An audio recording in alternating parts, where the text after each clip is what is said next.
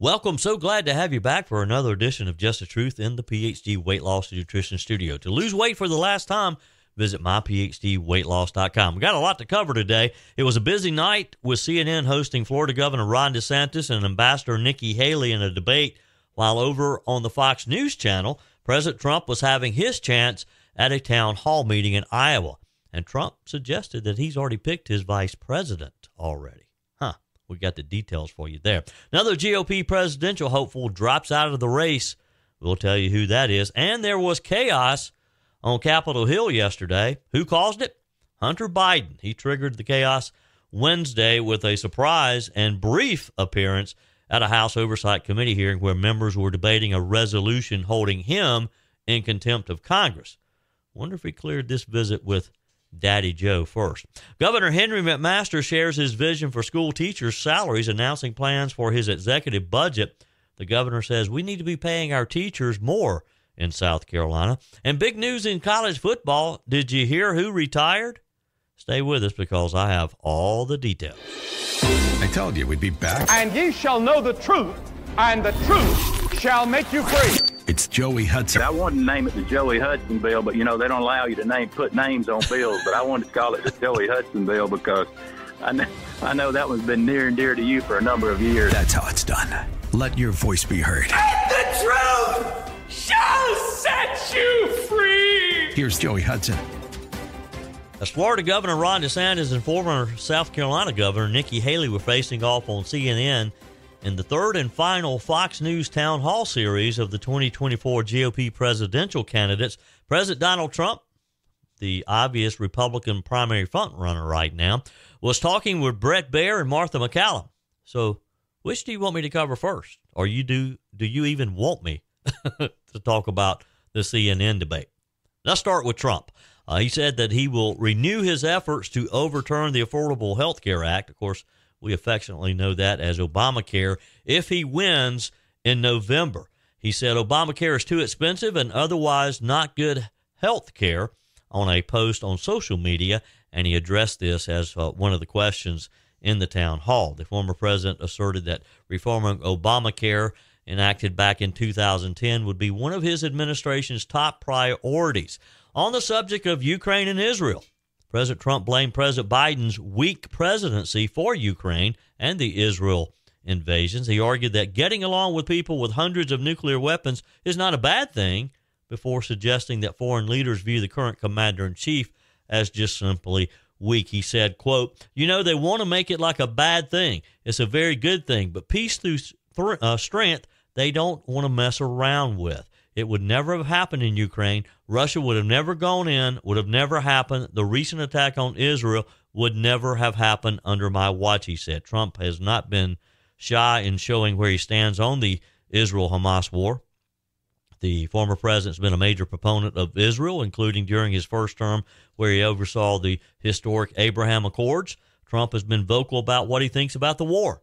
At the onset of the war, Trump claimed that there wouldn't be a conflict in Israel if he was still president. He also called for squad member Representative uh, Rashida Tlaib, a Democrat from Michigan, to be impeached over her rhetoric regarding Israel. He said, I think she's terrible.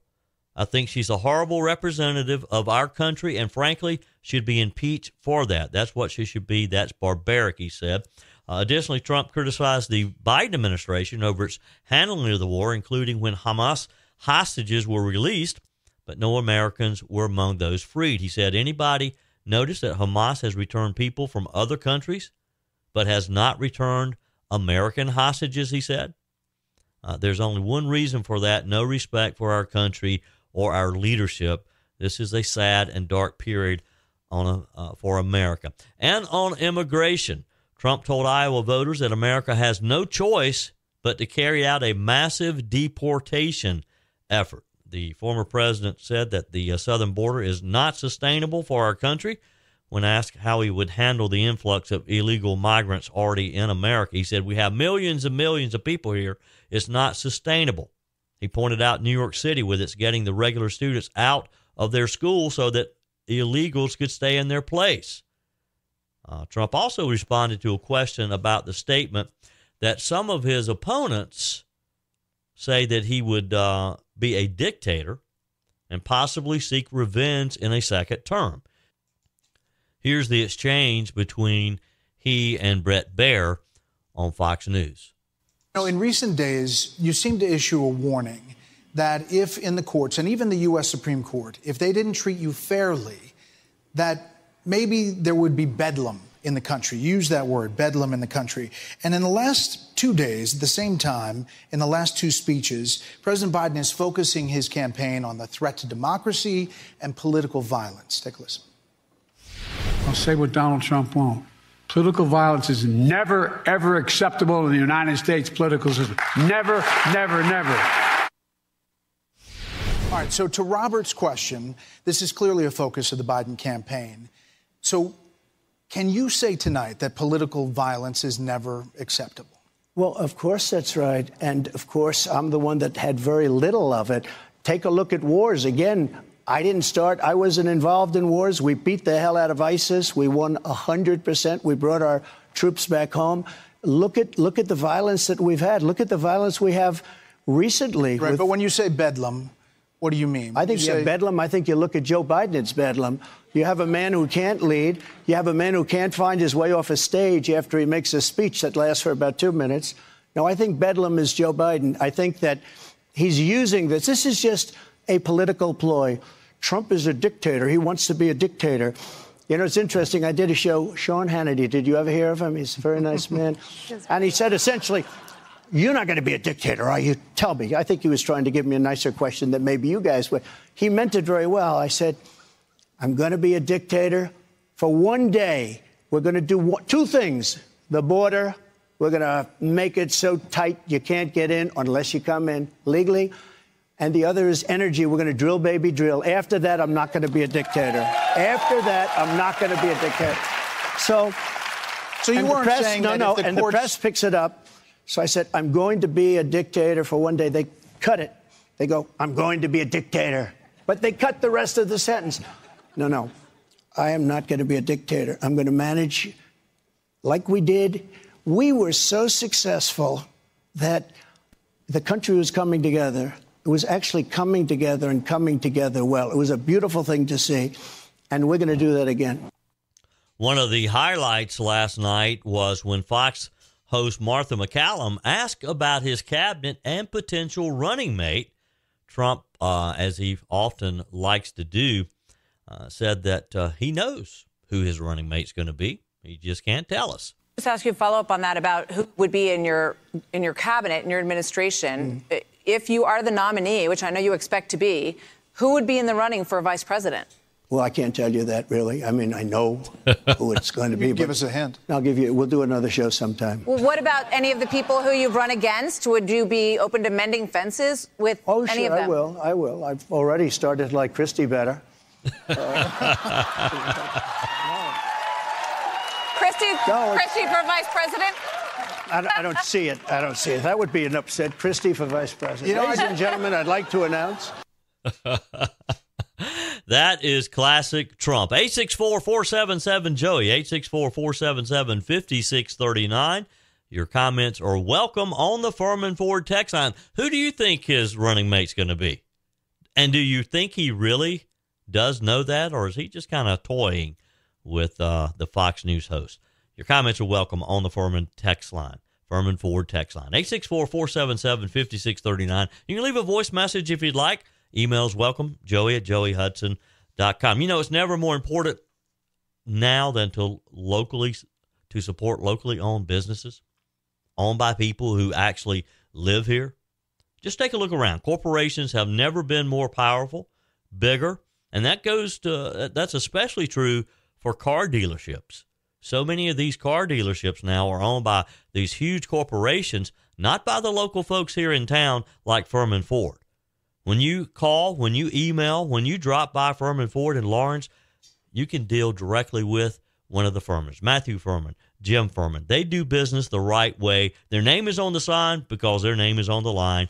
That means, again, when you stop in, when you need uh, service, you can talk with a member of the Furman family. They'll help you navigate some of the great deals they have on great selection of pre-owned vehicles. They'll help you with your service. You're not going to wait weeks if you want to get service at Furman Ford. Find them online at furmanford.com, furmanford.com. Another one bites the dust.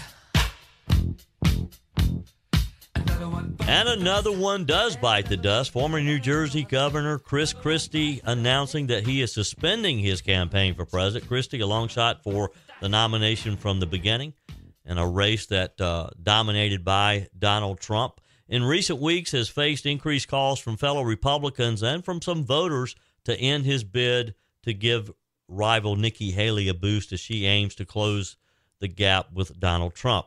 Former governor, one of the most vocal Trump critics in the GOP, emphasized his goal now is to make sure that Donald Trump does not win a second term in the White House. I've always said that if there came a point in time in this race where I couldn't see a path to accomplishing that goal, that I would get out. And it's clear to me tonight that there isn't a path for me to win the nomination, which is why I'm suspending my campaign tonight for President of the United States. I know, and I can see it from some of the faces here, that I'm disappointing some people by doing this. People who believe in our message and believe in what we've been doing. I also know, though, it's the right thing for me to do because I want to promise you this. I am going to make sure that in no way do I enable Donald Trump to ever be president of the United States again. And that's more important than my own personal ambition. Chris Christie, that was in a New Hampshire. I think it was New Hampshire, wasn't it? Uh, it was. It was at a town hall meeting where he made uh, that announcement. Sources indicate that Christie uh, would not be announcing an endorsement for anyone in 2024 at this time. One of the sources speculated that Christie would wait until after the results of next Monday's Iowa caucuses. As a reminder, I'll be reporting uh, from Iowa next week, so be sure and uh, and uh, keep keep uh, keep in check here with at Just the Truth as I'll be giving you up to date uh, on. Uh, I'll be there uh, Sunday, Monday, and Tuesday. I hear it's very cold there. Mike Gallagher sent me on this on this venture, and I, I, think I figured out why because it's so cold there. He doesn't want to go himself, but it, it's going to be great fun. I'll give you firsthand knowledge of what's happening in Iowa as I'm going to actually be attending one of the caucus meetings on Monday. Back to Chris Christie, the two most recent public opinion polls of likely voters in New Hampshire's Republican presidential primary uh, released this week both indicated Christie at about 12% support in third place behind Trump and Haley. Uh, this was the same strategy Chris Christie used before, uh, putting all of his efforts into New Hampshire. He was defeated uh, in 2016 there, looked like he was headed for another defeat there uh, this year. Uh, Christie, considered by some as one of the better communicators in the GOP. Uh, he was once a, a, strong Trump ally, but became one of the former president's most vocal uh, GOP critics in recent years. I've never understood the allure of Chris Christie to begin with. I've never been a big fan of Chris Christie. Uh, he was elected governor of a, a, very deep blue state, New Jersey, in 2009, overwhelmingly reelected in 2013, uh, first ran for president in the 2016 cycle. Uh, during that cycle, again, he put all of his efforts into New Hampshire uh, and crashed and burned. Uh, he was so far behind Trump, uh, who crushed the competition in the primary, boosting him towards the nomination, and of course, eventually winning uh, beating Hillary Clinton in November. Uh, Christie became the first among the other GOP 2016 contenders to indo- uh, to endorse Trump at the time, and again for years was a top outside advisor to uh, pre- uh, to Trump when he was in the White House. But uh, that that went south. The former governor, known for sort of the in your face type of politics that New Jersey has, and look, Trump gives it back as, as, as good as he gets. Uh, he argued that he was uh, the only contender with the chops to potentially take down Trump on the debate stage. Of course, President Trump has not participated in any of those debates. So Christie never got that face to face confrontation that he hoped. Christie becomes the latest Republican to drop out of what is becoming a very slim field now. Uh, North Dakota Governor Doug Burgum ended his uh, bid last month. Of course, my friend uh, and our junior senator from South Carolina, Tim Scott, ended his back in November. Former Vice President Mike Pence suspended his presidential campaign on October 28th.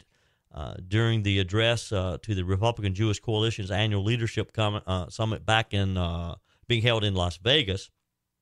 And we had some of the lesser known candidates who also failed to qualify, like Representative Will Hurd of Texas, Mayor, uh, the mayor of Miami, Francis Suarez, and and Perry Johnson, the the the business leader. Um, Former Arkansas Governor Asa Hutchinson does remain in the race, but uh, don't hear much from him. 864 477 Joey, 864 477 5639. Your comments are welcome on the Furman Ford text line. I love getting your comments. You can leave me a voice message. Emails are welcome as well. So Hunter Biden triggered bedlam. That's one of Trump's uh, terms, isn't it? Bedlam uh, triggered bedlam yesterday with a surprise and a very brief appearance at a House Oversight Committee hearing where members were actually debating a resolution to hold him in contempt of Congress. Now, talk about staging a, a political statement. Biden showed up with his lawyer, Abbe Lowell, and his sugar brother, Kevin Morris, the millionaire who has literally uh, loaned him millions of dollars to, to help him pay his back taxes and all. Uh, they sat in the front row of the hearing room, caused an uproar among the panel's Republicans, as they should have, before leaving 17 minutes after he arrived with what appeared to be the camera crew for this documentary that is being made. Uh, Representative Nancy Mace probably stole the comment of the day as she tore into Hunter uh, calling him the epitome of white privilege. You are the epitome of white privilege, coming into the Oversight Committee, spitting in our face, ignoring a congressional subpoena to be deposed. What are you afraid of? You have no balls to come up here. Whoops. Hunter Biden should be arrested right here, right now, and go straight to jail. Wow.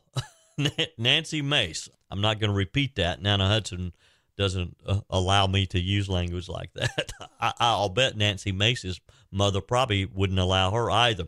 Uh, Biden, of course, as you know, skipped the December 13th deposition that had been uh, uh, scheduled by claiming that he would prefer to testify publicly before the world in the impeachment inquiry into his dad's role in foreign business ventures. Uh, subpoenas for Hunter Biden's testimony were issued last year by the Oversight and Judiciary Committees. Both panels voted along party lines yesterday afternoon uh, to refer a contempt resolution to the full House. Hunter stood up, left the hearing room, ending his morning uh, cameo when Representative Marjorie Taylor Greene began to speak. She tore into the first son, calling him a coward, uh, and was he was trailed by reporters, political operatives in the hallway. I mean, it was a spectacle uh, Representative Greene did not see the humor. Thank you, Mr. Chairman. Uh, excuse going? me, Hunter. Oh, Apparently, you're. This is where he's walking words. out. Whoa! Uh, oh. I like to reclaim my time, Mr. Chairman. Burst their bubble. Wow, that's too bad. And sits here with a smug look on, look on his face and runs away when it's my turn to talk. Not only is he a criminal, but he is a coward. uh, the president's son did take at least one question as he was walking down the hall because all the all the cameras and reporters are are chasing him down the hall. Uh, and one reporter yelled out a question to him, and he answered. I'm sure. Uh, against the advice of his attorneys, and he seemed to confirm that his father did in fact participate in uh, a, in some phone conversation. Here's the uh, here's the exchange between Biden and a reporter, uh, an unknown porter reporter in the hallway. Mr. Biden, why did you put your dad on speakerphone with your business partners if he had no involvement in your business? Do you have a dad? Did he call you? Yes. Answer the phone? Yes. Okay. But why did you need to talk to him during business meetings if he had nothing to do with your business? Yeah, because he had everything to do with his business. He, Joe Biden is Hunter Biden's business. Uh, completing the spectacle, there was a heckler uh, who kept yelling, Hunter, what's your favorite kind of crack? And are you on crack today?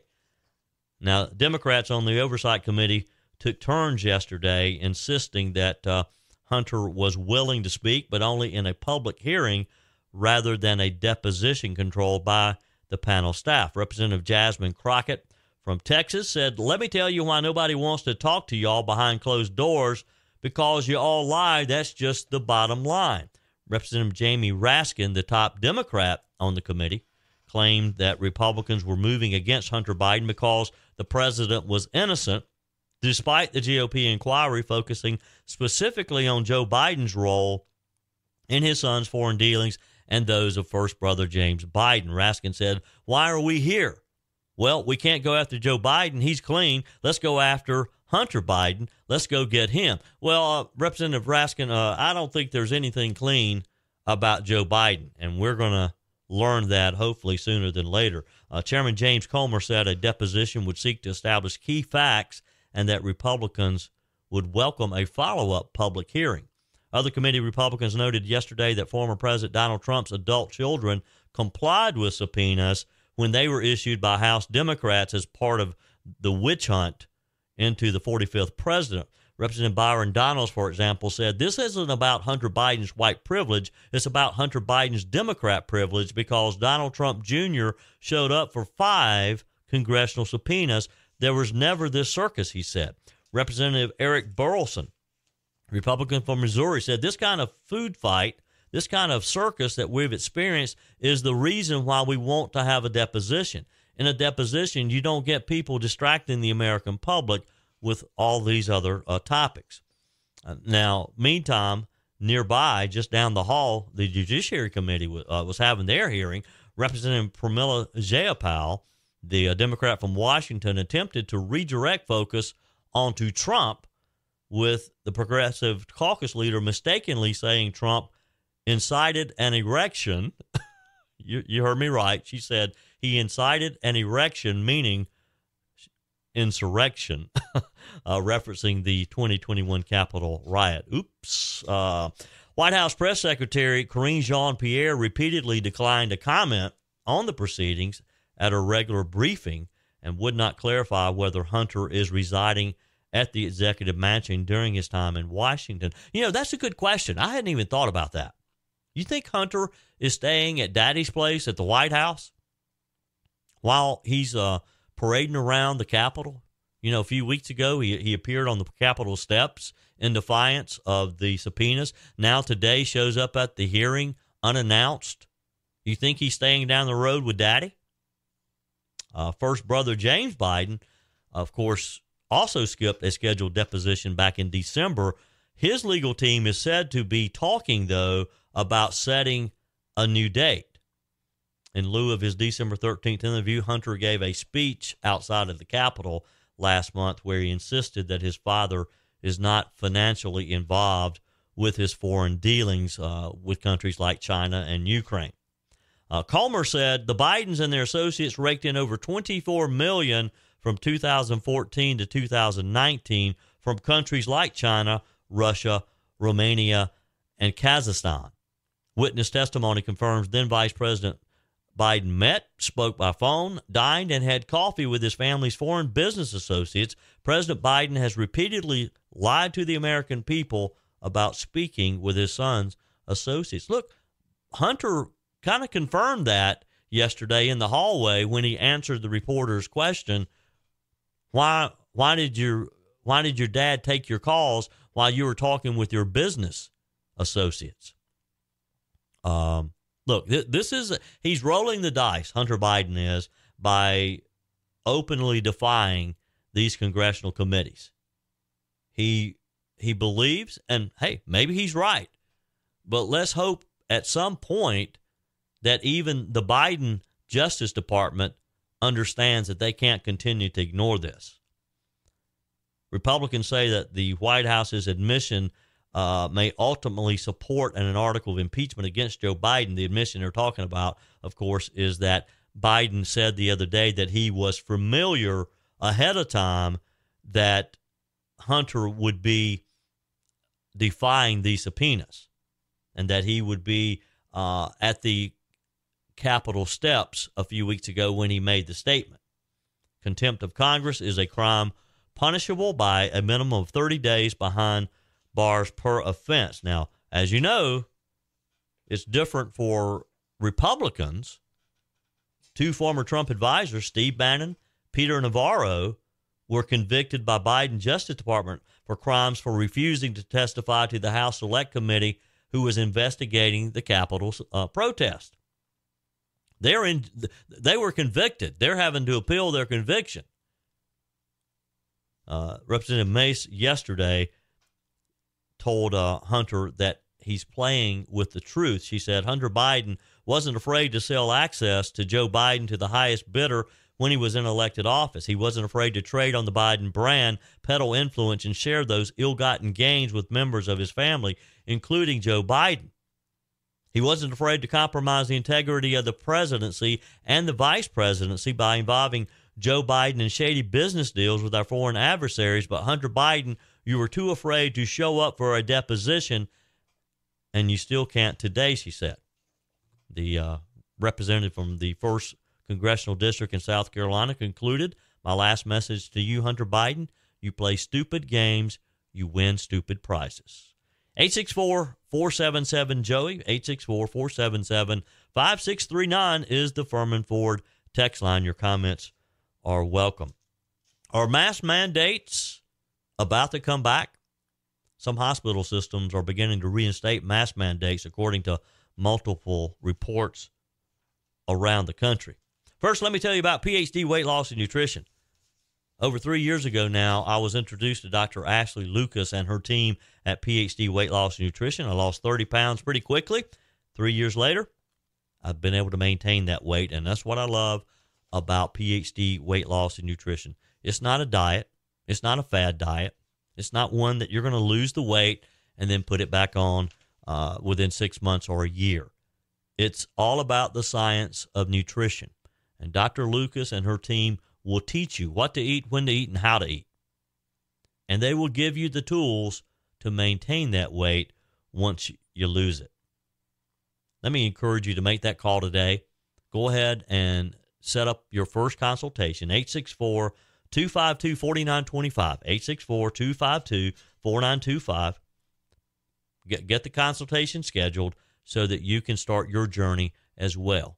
And within a few weeks, you too can be talking about losing 10, 20, 30 pounds. Find them online at myphdweightloss.com. PhD Weight Loss and Nutrition, the official partner of the Clemson Tigers. So, New York City public hospitals are joining a growing number of healthcare facilities around the country who are reinstating mask mandates, according to multiple news reports.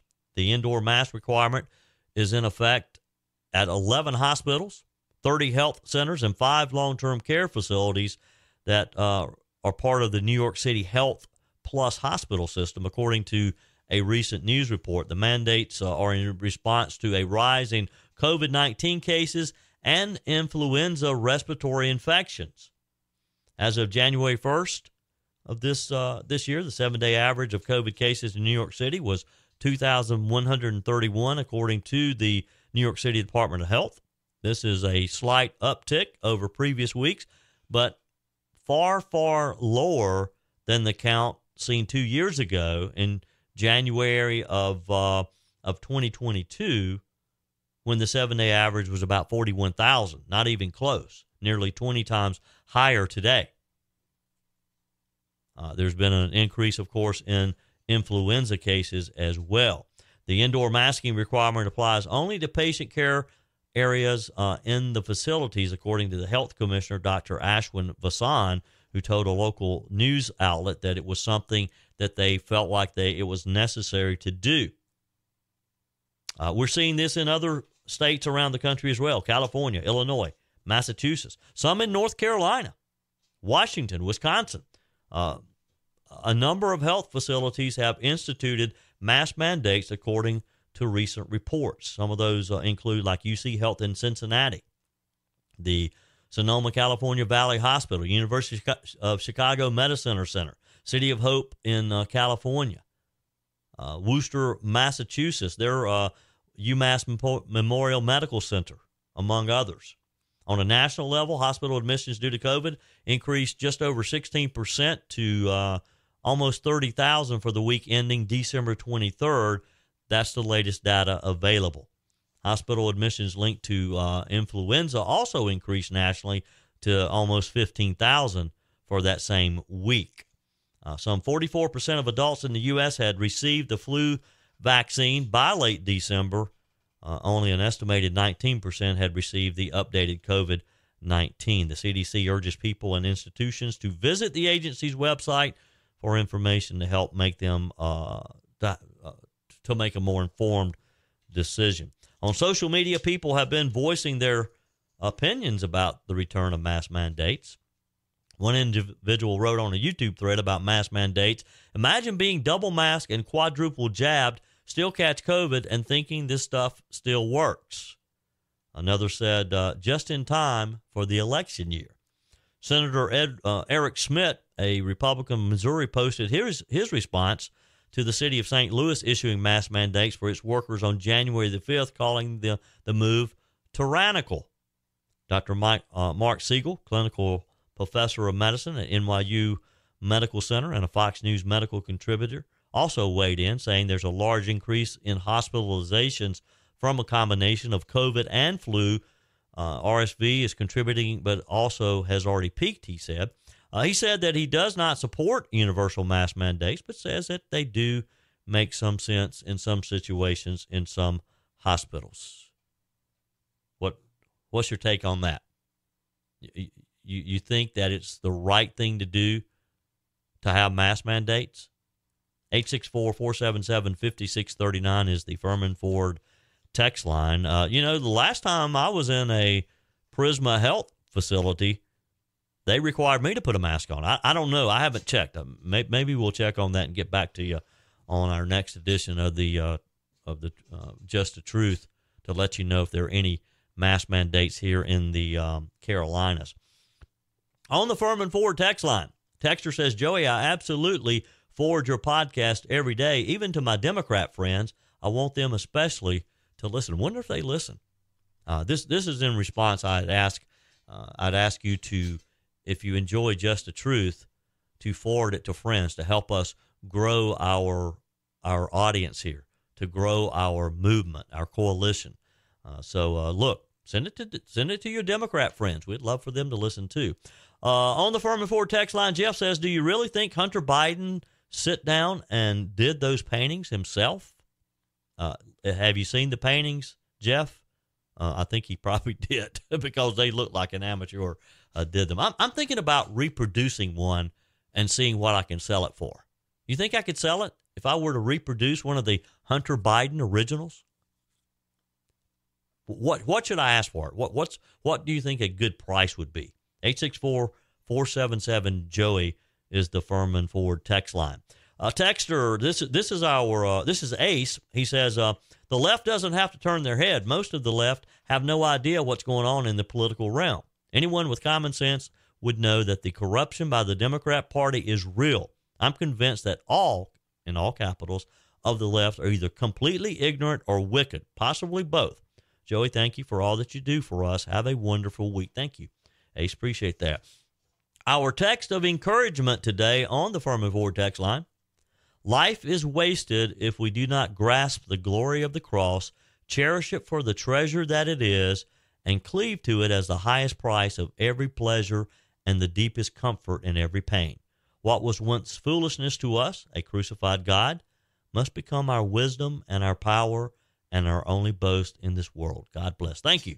Thank you. Your comments are welcome on the Furman Ford text line as well, 864 477 5639. So the South Carolina legislature is back in session this week, kicking off year two of their two year session.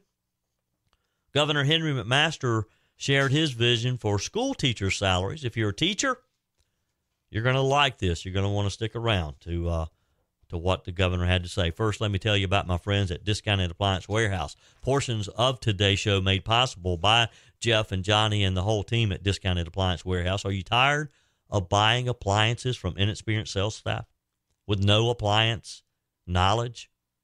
If so, you can change that. You can have a different experience when you go to Pickens, and it's it's worth the short drive from wherever you are right now uh, to Pickens and visit with my friends at Discounted Appliance Warehouse.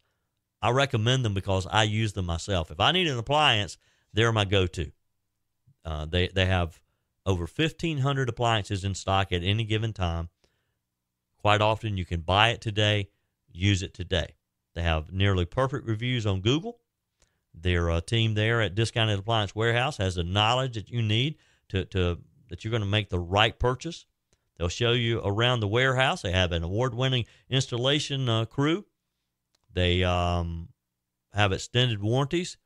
Basically, they just take care of you before, during, and after the sale. Find them online at dawpickens.com, dawpickens.com. So, with Lieutenant Governor Pamela Evette by his side, South Carolina Governor Henry McMaster announced during a news conference yesterday as we kick off the legislative session uh, that he would like to see another increase in starting teacher pay with the go- goal of raising pay to at least 50,000 by 2026.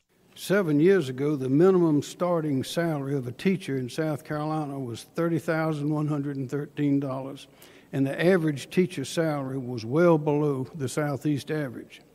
Today, the minimum starting salary of a teacher in South Carolina is $42,500, and the average teacher salary here in South Carolina now exceeds the Southeastern average.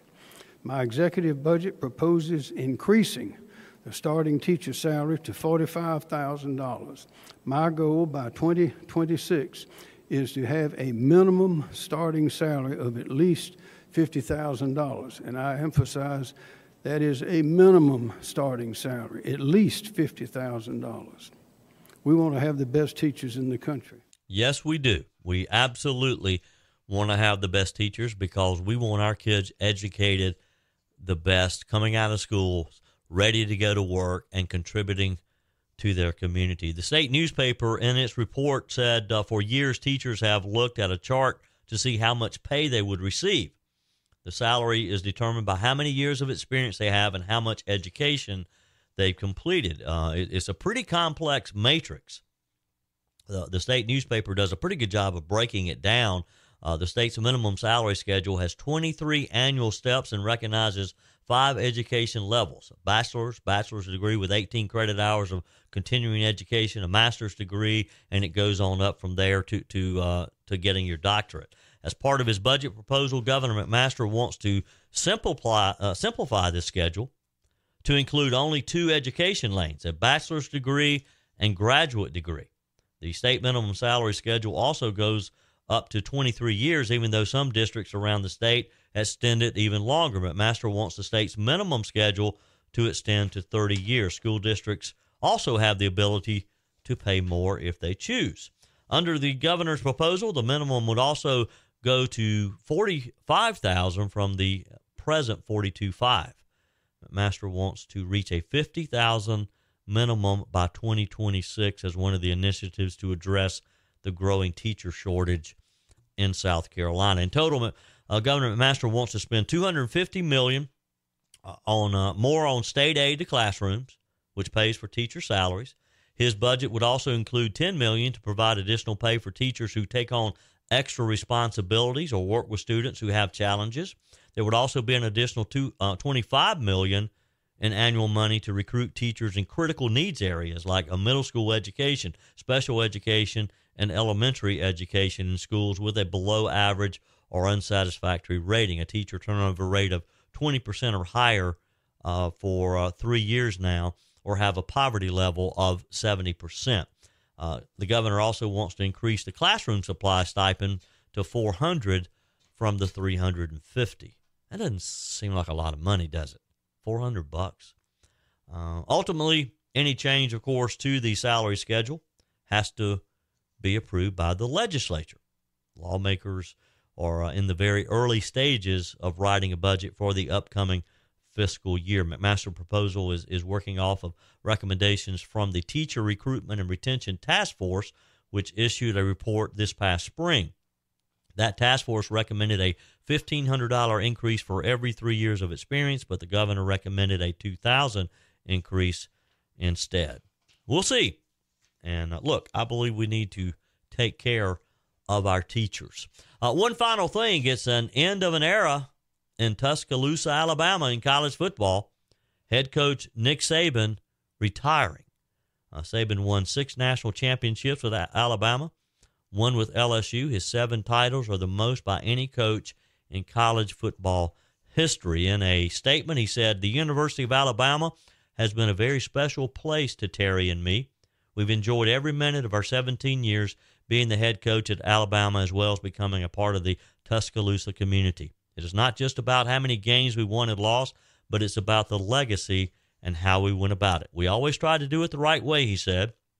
The goal was always to help players create more value for their future, be the best player they could be, and be more successful in life because they were part of the program. Hopefully, we have done that, and we'll always consider Alabama our home. This year's Crimson Tide went uh, 12 and 2 after making the college football playoff with an upset victory over top ranked Georgia in the SEC championship. Bama earned the number four seed in the CFP, but lost to number one Michigan, the eventual national champion in the Rose Bowl on New Year's Day. Saban is 72 years old, had coached uh, Alabama since 2007. And of course, you know the speculation now begins. Does Dabo Swinney leave Clemson and go back home to Alabama? Uh, it's already been rumored and a lot of speculation that that's sort of Dabo's dream job. That's it for today's Just the Truth. Thank you for spending a few minutes of your day with me. Uh, as I have broadcast from the PhD Weight Loss and Nutrition Studio to lose weight for the last time, visit myphdweightloss.com. If you haven't joined our mailing list yet, visit my website, joeyhudson.com. Click on the Connect with Joey button so that you can receive our emails with the most up to date news. We're back again tomorrow. Your comments are welcome on the Furman Ford text line 864 477 Joey. Keep them coming and keep those emails coming as well. Joey at joeyhudson.com. Folks, appreciate you being with me. Remember, God's got this, He's still in control.